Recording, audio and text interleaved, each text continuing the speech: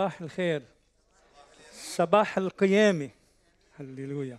لازم كل أحد نتذكر أنه يسوع قام ونحن نحتفل بقيامته من بين الأموات. نصبح كمان مشاهدينا على شاشة سات سبعة. الرب عنده رسالة لنا هل نحن مستعدين أن نطيعه ونعمل مشيئته في حياتنا؟ رح أقرأ من أعمال الرسل. الفصل العشرين ابتداء من العدد 17 فإذا أعمال الرسل العشرين عدد 17 ومن ميليتوس أرسل يعني بولس إلى أفسس واستدعى قصوص الكنيسة.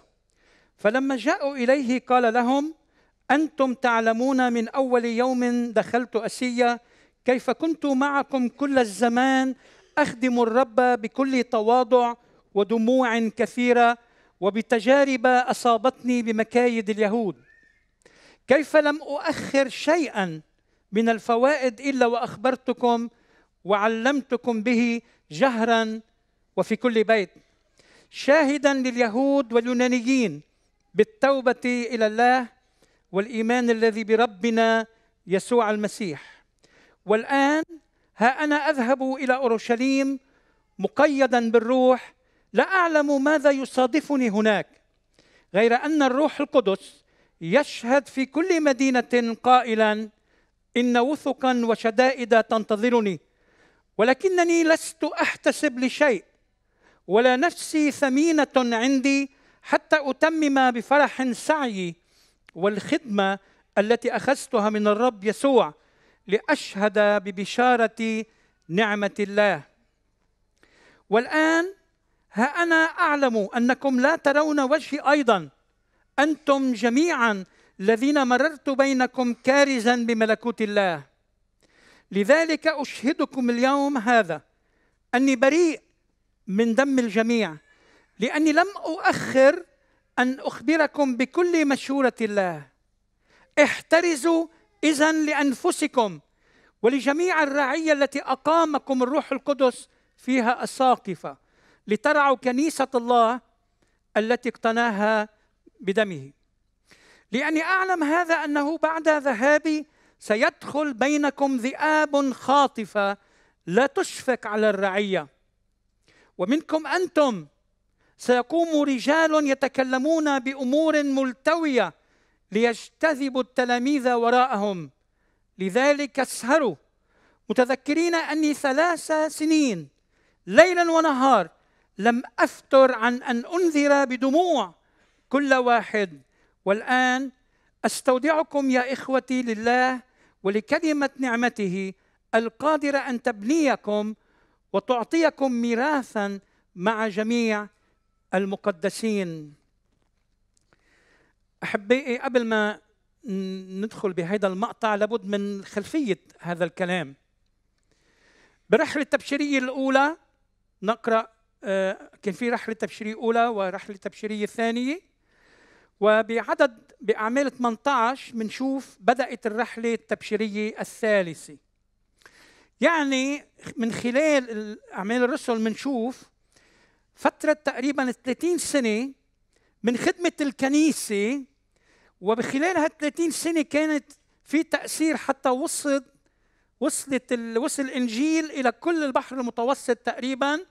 وكان هنالك كنائس في كل حوض المتوسط خاصة من خلال مثل ما بنشوف أعمال الرسل. طبعا في غيره كمان عندهم خدمة من خلال آه، أعمال الرسل. بنشوف بصورة خاصة خدمة بولس وبين الأمم وانتشار الإنجيل. بنشوف أنه بولس بعد ما مر بغلاطية وفريجية اللي هن بتركيا لكي يشدد التلاميذ شغلة حلوة مع إنه المسافات صعبة مع إنه ما كان ما كان عنده وسائل سفر حديثة لكن نرى إنه ما كان يهمل أولاده. الله كان يرسل إليهم الرسول بولس وغيره من الرسل لكي يشجعهم ويثبتهم في الإيمان. بعد ما ظهر من هنيك جاء إلى أفسس. طبعا وهيدي النقطة لمحطة الأساسية. هناك بقي بولس سنتين وربما ثلاثة لأنه يذكر هون بآخر أعمال ثلاث سنين. بقي سنتين أو ثلاث سنين عم يخدم بهيدي المدينة. بنلاحظ أنه شغلة مهمة بأنه بولس بدأ مع اليهود مع الذين منتظرين المسيح المسيح بدأ معهم في المجامع لمدة ثلاثة شهور يعني مدة طويلة. مرات بنشوف من أول أسبوع ما كانوا يستو... يقبلوا أنه يكمل. وكان يكرز بين اليهود عن ملكوت الله. لكن بنلاحظ يا أحبة أنهم رفضوا وبعد رفضهم انتقل إلى قاعة إلى مدرسة تيرانوس وهنيك كمل خدمته الطويلة. أحبائي بأفسس حصلت نهضة. نهضة غير عادية. هيدي المدينة دائما كان بولس يستهدف العواصم يستهدف المدن الكبيرة. بيعلمنا من هون لأنه كان بيعرف كل الناس بتجي على المدينة الكبيرة وإذا قبلت المسيح بتنقله للضياع. لاحظوا شو صار بأفسس. بيقول حتى سمع كلمة الرب يسوع جميع الساكنين في أسيا يعني في تركيا تركيا بهذاك الوقت من يهود ويونانيين وكان الله يصنع على يدي بولس قوات غير المعتادة حتى كان يؤتى عن جسده بمناديل أو مآزر إلى المرضى فتزول عنهم الأمراض وتخرج الأرواح الشريرة منهم. فكان وكان كثيرون من الذين آمنوا يأتون مقرين ومخبرين بأفعالهم ها؟ وكانوا يستعملوا السحر يجمعون الكتب ويحرقونها أمام الجميع. وبيقول قديش حقها مبلغ ضخم جدا. هيدي النهضة الحقيقية. النهضة الحقيقية عندما تأتي النفوس إلى الرب. النهضة الحقيقية مش بس نجي على الكنيسة الكنيسة بنسمع كلمة الرب بنسبح الرب. لكن النهضة تبدأ عندما يدخل يسوع إلى قلبنا ويملك على حياتنا. النهضة الحقيقية مش بعددنا أو بالمكان الجميل ونشكر الرب لأجل المكان الجميل ولكن النهضة الحقيقية هي بخلاص النفوس برجوع النفوس إلى الله. بقوة بدنا نصلي. مثل ما بنقرأ بأعمال الرسل. الله يريد أن يتعامل معنا روحا ونفسا وجسدا. يريد أن يشفي أمراضنا. يريد أن يطرد كل حزن كل خوف كل عمل شيطاني في قلوبنا أو على أجسادنا. هذه هي إرادة الله. وهون يا أحبة بنلاحظ شغلة مهمة أنه هذه العظة يلي أعطاها لوقا آه، يعني مساحه جيدة. هيدي العظه هي الوحيدة يلي كرز فيها بولس للمؤمنين. بنلاحظ أنه العظات المكتوبة عم بحكي المدونة طبعا هو كرز لكل الناس مؤمنين وغير مؤمنين. لكن هون بنشوف كلامه لمؤمنين وكلامه إلى قاضي مؤمنين إلى رعاة كنائس. ها؟ إلى نظار إلى أشخاص شيوخ. هون يا أحبة أهمية هيدي الرسالة أنه هيدي الرسالة بتعنينا كلنا كل من يريد أن يخدم الرب كل من يشعر بدعوة إلى الخدمة كل من يريد أن يعمل إرادة الله بحاجة يتعلم من هيدي الرسالة. وراح وقف عند عدد واحد اللي هو العدد 19 ومن خلاله نتأمل بثلاث صفات يجب أن تتوفر في كل خادم للمسيح. يقول أخدم الرب بكل تواضع ودموع كثيرة وبتجارب أصابتني بمكايد اليهود. أول نقطة بدنا نتأمل فيها هو الفكر المتواضع بعدين رح نتأمل بالقلب المحب وبعدين بالإرادة الثابتة في وسط الصعاب. أخدم الرب رح شفتها باليوناني. حلو. الرب مش أخدم رب مش أخدم سيد مش أخدم إله. أنا أخدم الرب الوحيد ملك الملوك ورب الأرباب. أنا أخدمه كعبد أخدمه بتواضع. ما أحوجنا هذه الأيام إلى هذه الصفة صفة التواضع. مؤسف أنه اليوم بنلاقي في كثير كبرياء مع الأسف انه حتى المؤمنين مرات يقعون بهذه الخطية خطية الكبرياء. مشان هيك مهم جدا نعرف أنه لا يمكن أن تنجح خدمة بدون تواضع. لا يمكن أن يكون لنا تأثير ونربح نفوس ونغير العالم والناس اللي حولنا إلا إن كان عندنا تواضع. التواضع معناتها الله يملكني. التواضع يعني إرادتي هي إرادته. التواضع اني لا أعيش لنفسي لأني اشتريت بثمن. التواضع أن أكون مثل سيدي الذي ملك الملوك ورب الأرباب لكنه تواضع وعلمنا التواضع. نقرأ يا أحبة بكورنثوس الأولى واحد من 26 ل 31 بيقول الرسول بولس فانظروا دعوتكم أيها الإخوة. كانت كنيسة كورنثوس مليانة بالمواهب لكن مع الأسف كانت أيضا مليانة بالتحزبات. كان عندهم فخورين بالفلسفة اليونانية اللي عندهم فخورين بالخطباء كانوا يفتخروا بهذه الأمور لكن كانوا بحاجة إلى تغيير. ليس ليس كثيرون حكماء حسب الجسد. ليس كثيرون أقوياء. ليس كثيرون شرفاء. بل اختار الله جهال العالم ليخزي الحكماء واختار الله ضعفاء العالم ليخزي الأقوياء واختار الله أدنياء العالم والمزدرى وغير الموجود ليبطل الموجود لكي لا يفتخر كل ذي جسد أمامه. حب هيدا الدرس لنا اليوم من هم هول الجهال؟ من هم هؤلاء الضعفاء؟ هؤلاء الأشخاص المزدرى وغير الموجود؟ هيدول نحن بدون يسوع. نحن خطاة غاطسين بالخطية. نحن جهال. ما بنعرف طريق الله ما بنعرف مشيئة الله لكن الله اختارنا وجذبنا بقوة محبته وجعلنا أولاده. مش هيك بكمل بيقول بالآخر من افتخر فليفتخر بالرب. فليفتخر بالرب. كورنثوس الأولى أربعة وستة وسبعة بيقول وهيدي مهمة كثير عن التواضع ولا ينتفخ أحد لأجل الواحد على الآخر. يعني ما تشوف حالك على غيرك لأنه من يميزك وأي شيء لك لم تأخذه.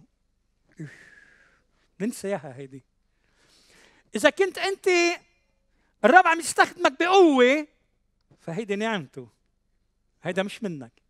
إذا كان معك مصاري وغني هولي منه. مش منك بتقول بس أنا شاطر. كان أنت ممكن ما تكون موجود بالحياة. كان ممكن آه، الظروف تبعدك لكن الله أعطاك كل شيء. كل موهبة ها؟ كل آه، مثل الموهبة يعني كل شيء بتعمله كل طاقة كل صنعة كل مهنة كل علم عنا هو منه. علينا يا أحبة باستمرار. أن نتذكر بأننا نحن لا شيء لا شيء منا الكل منه. وإذا بدنا نروح أبعد إذا بدنا نروح أبعد من هيك دقات قلبي ودقات قلب كل واحد هون منه. وبكل نبضة قلب بم لازم نقول يا رب بشكرك. كل يوم نقوم على بكرة نهار جديد. لازم نقول له نشكرك. كثير مرات ننظر إلى الأمور السلبية ونتحدث عن الأمور السلبية وفي كثير أمور سلبية نحكي عنها ببلادنا مع الأسف. لكن الأمور الإيجابية الحلوة أننا موضوع محبة الله. هل اختبرت هذه المحبة بحياتك؟ هل يسوع سيد على حياتك؟ أعظم امتياز يعطى لنا أن نكون خدام للمسيح. مش خدام يعني رعاة بس. أن نكون أولاد الله ونخدمه. يا له من امتياز عظيم. إن كان وهو السيد غسل أرجل تلاميذه تعلمنا أنتم اعملوا هيك مع بعضكم البعض. بكولوسي 3 12 و 13 بيقول فالبسوا كمختاري الله القديسين المحبوبين أحشاء رأفات ولطفا وتواضعا ووداعة وطول أنات. لشو هاد كل هالصفات محتملين بعضكم بعضا ومسامحين بعضكم بعضا. إن كان لأحد على أحد شكوى كما غفر لكم المسيح هكذا أنتم أيضا. نحتاج إلى التواضع إلى الوداعة إلى الرأفة لحتى حقيقة نغفر للآخرين. إذا في هيدا الصباح في شخص في شخص بحياتك في حقد نحوه في مرارة أنت غير متواضع. في كتار مرات ممكن نبرر الأمور مش الحق علي الحق عليه. لكن لما غفرنا المسيح كان الحق عليه كان الحق علينا. الغفران يبدأ من القلب. هل قلبك متواضع لكي تغفر؟ أحبائي كمان بنشوف التواضع بأجمل صورة بفيليب 2 6 لا تنظروا كل واحد إلى ما هو لنفسه. هل مطلع كثير على أمورنا؟ بل كل واحد إلى ما هو لآخرين أيضا. فليكن فيكم هذا الفكر الذي في المسيح يسوع الذي إذ كان في صورة الله. لم يحسب خلصة أن يكون معادلا لله لكنه أخلى نفسه آخذا صورة عبد صائرا في شبه الناس. وإذ وجد في الهيئة كإنسان وضع نفسه وأطاع حتى الموت موت الصليب. من الأمور الصعبة على عقلنا وعلى عقل كتار من غير المسيحيين أنه طب ليش الله شو صاير عليه وشو يلي جابره؟ حتى يجي المسيح يموت على الصليب. ما حدا جابره. هيدي محبته حاشا! في ناس مش قادرة تتخيل. ترفض. هل ممكن أن يأتي المسيح؟ وأن يضطهد؟ وأن يتألم؟ وأن يرفض؟ وأن يجوع؟ وأن يعطش؟ وأن يكونوا كل الناس اللي حواليه تلاميذه. يلي اعتمد عليهم حتى دعاهم ووثق فيهم. تركوه هربوا طبعا بعدين تغيرت الصورة. ولكن يسوع بتواضعه العظيم استثمر فينا. بحب هالعبارة. يسوع عم بيستثمر فيك. انت استثماره. الشغلة الأخيرة بقولها. ابن الإنسان لم يأتي ليخدم بل ليخدم ويبذل نفسه لأجل الكثيرين. لماذا أنت اليوم هنا؟ ما هي دعوة الله لحياتك؟ كثير مرات نوقع كلنا بهالفخ بدي أدرس لاهوت فكر إنه بدي أدرس لاهوت حتى بصير راعي. بدي أدرس حتى أكون مؤثر. رب يستخدمك أمين ولكن الدافع الدافع أنك تكون غاسل الأرجل. بدك تخدم بدك تكون مديون. لاحظوا الشغلة المهمة بالتواضع. مديون لكل الناس. ما حدا مديون إلك. شو هالحكي هيدا؟ هيدا الخادم. مش أنت مش أنت مديون لإلي. أنتم مديونين لإلي. أنا عم بتعب. أنا عم جاهد. ما في شك. أنا أنا كنت أنا راعي وبعرف معنى الرعاية. قديش فيها ألام؟ ما بيعرفوا فيها الرعيه ولكن أهم شغلة نعرف باستمرار أنه نحن ما بنتوقع الناس تعطينا. لكن دعوتنا أنه نعطي نعطي. الرب بيعطي لكن نحن نعطي الآخرين. شغلة ثانية يا أحبة نقراها بالعدد 19 بكل تواضع ودموع كثيرة. يا عمي شيء غريب عم بيقولوا بولس. بولس كان يبكي؟ هلا بنشوف يبكي؟ كان يتألم؟ إحنا اليوم نعيش ب بعصر مريح. نجي بسياراتنا على الكنيسة في اي سي في أشخاص آه، بيحضروا مثل ما الإخوة عم بيحضرونا. ببيوتهم بيقدروا يحضروا الخدمة. كله هيدا شيء رائع. لكن افتقدنا شغلة مهمة هي البكاء. البكاء أمام الرب. كثير قليل هالأيام اللي بيبكوا قدام الرب. لكن لما نفكر بالنفوس بيقول عن يسوع لما رأى النفوس كأن لا راعي لها تحنن على الجموع. شو يعني تحنن؟ تحنن. قلبه تحرك عاطفته تحركت. يسوع كان عنده قلب قلب رائع.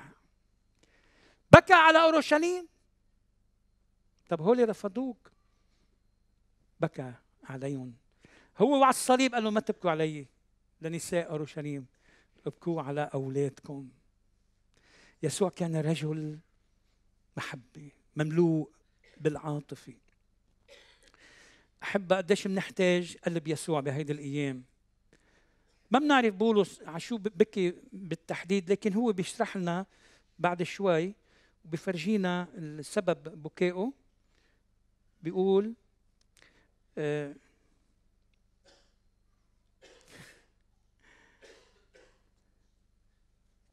طيب هلا هلا هلا بشوفها.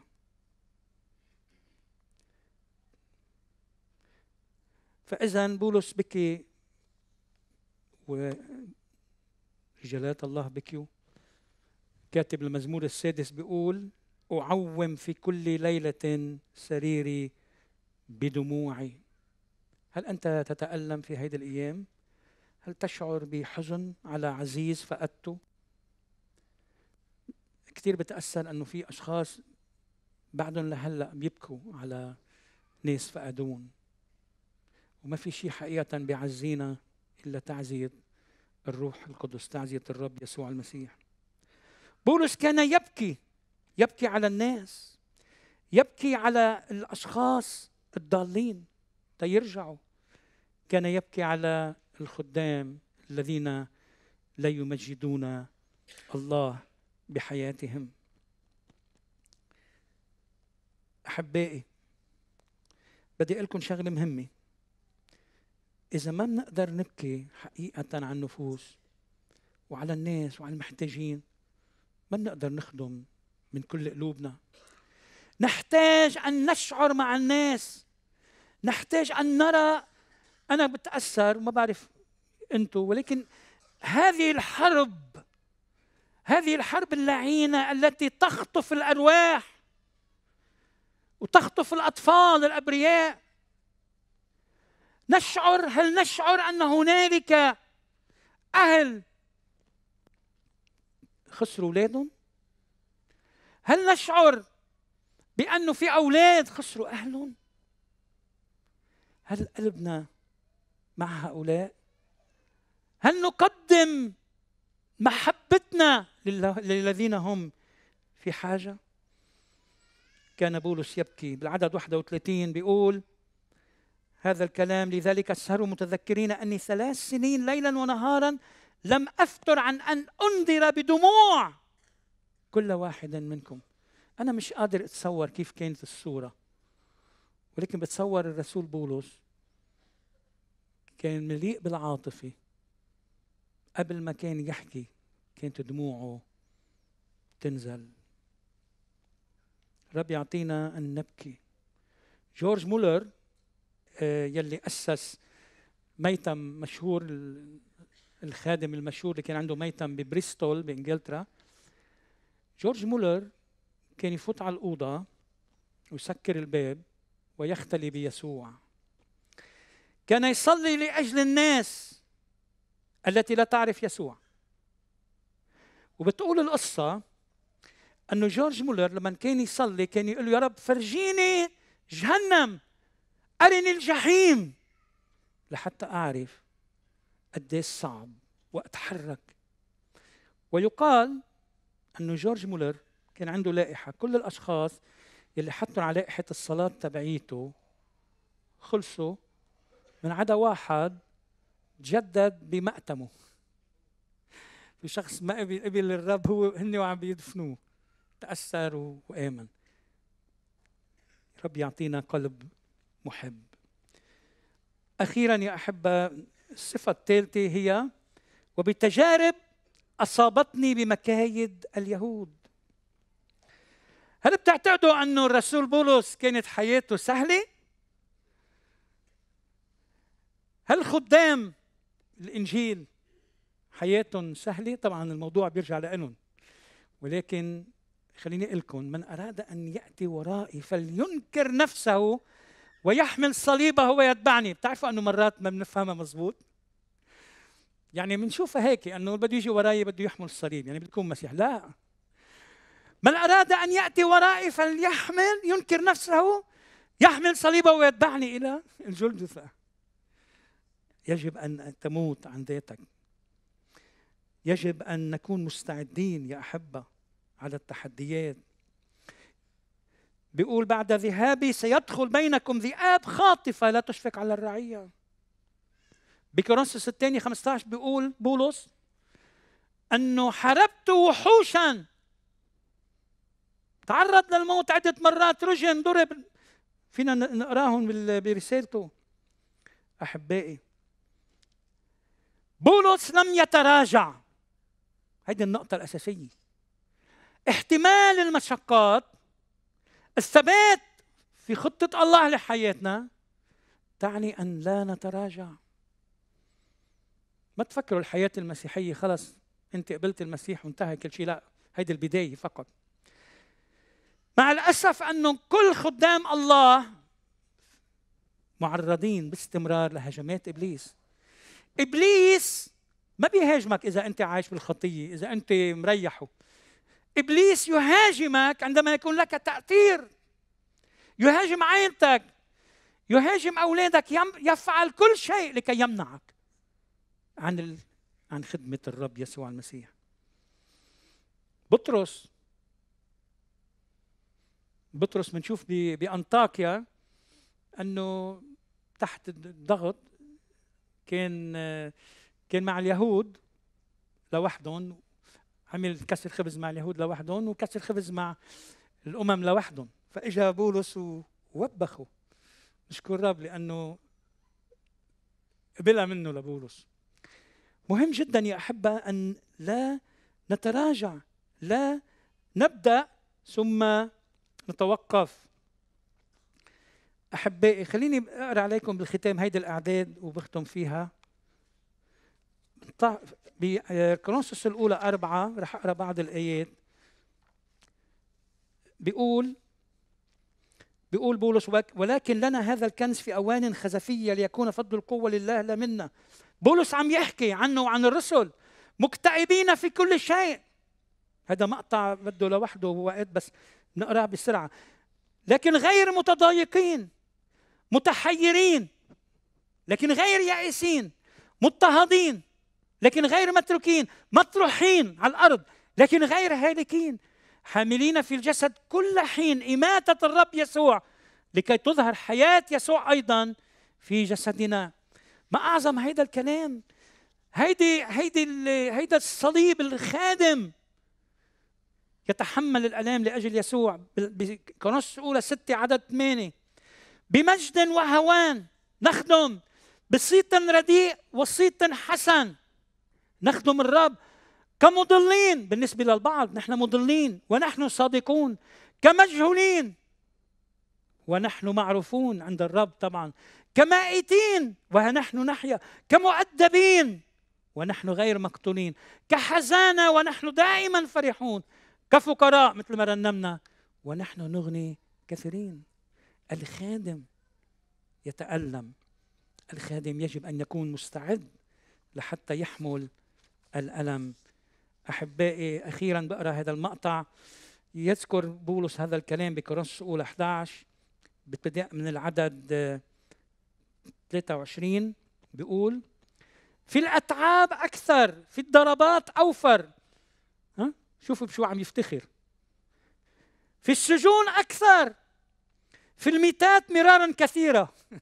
سمعتوا واحد بيموت عدة مرات. بولس. بولس رجموه وضل بالأرض بعدين شوفوا قام. وصل للموت كذا مرة. من اليهود خمس مرات. قبلت أربعين جلدة. إلا واحدة.